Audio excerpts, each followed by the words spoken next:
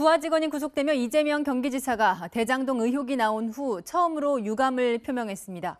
하지만 유동규 전 본부장 개인의 일탈로 선을 그었습니다.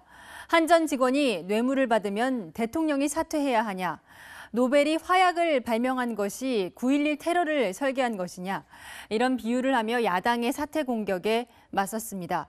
민주당은 특검 대신 정부 합동수사본부를 설치하자는 주장입니다. 전혜정 기자입니다. 유동규 전 성남도시개발공사 본부장이 구속되자 이재명 경기지사가 처음으로 유감을 표명했습니다.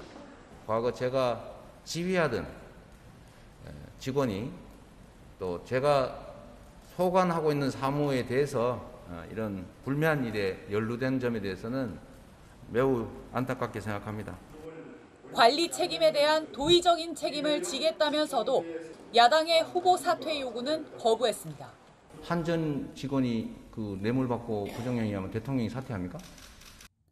대장동 개발은 민간 개발 독식을 막은 만큼 사과할 일이 아니라 칭찬받을 일이라면서 국민의힘을 더 몰아 세웠습니다.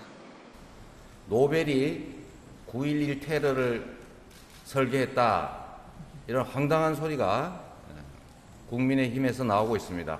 노벨이 화약 발명 설계를 했다고 해서 알카에다의 9.11 테러를 설계한 것이 될 수는 없습니다.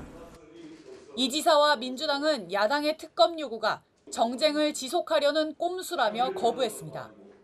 하지만 유동규 전 본부장이 구속되면서 그동안 검찰 수사를 지켜보자는 민주당 지도부 내에선 정부 합동특별수사본부 설치 필요성이 검토되고 있습니다. 민주당 핵심 관계자는 검경이 따로 수사할 게 아니라 국세청 등까지 참여해 빠른 시일에 해결해야 한다면서 합수본에서 성과를 내면 특검 요구도 안 나올 것이라고 밝혔습니다. 이 관계자는 당이 먼저 제안하고 정부가 추진하면 된다는 설명도 했습니다. 민주당이 특검을 기피하는 배경엔 김경수 전 경남지사를 구속시킨 드루킹 특검에 대한 트라우마 때문이라는 분석도 나옵니다.